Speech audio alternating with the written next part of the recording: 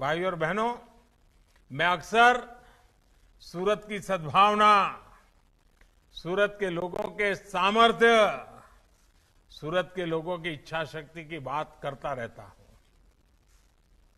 અને આપણો સુરતી લાલો એટલે પછી પૂછવાનું જ છું आपको याद है गुलामी के समय में सूरत देश के उन पहले स्थानों में था जहां नमक कानून का विरोध हुआ था। सेवा भाव क्या होता है? इसको सूरत और सूरत के लोग बखूबी સમજતે હે અને આ તો સુરતીઓના લોહીમાં ભળેલું છે એમની રોજનું જીવનનું અંગ છે અને સુરત તો સૌને જોડનારું છે સૌનો સમાવેશ કરનારું છે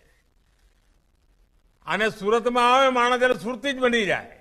એની બોલી બદલાઈ જાય એનું ખાનપાન બદલાઈ જાય એ ગમે ત્યાંથી આવ્યો હોય આ સુરતના પ્રેમની તાકાત છે गरीब हो दलित हो पिछड़े हो आदिवासी हो श्रमिक हो व्यापारी हो कारोबारी हो अन्य राज्यों से आए हुए लोग हो सभी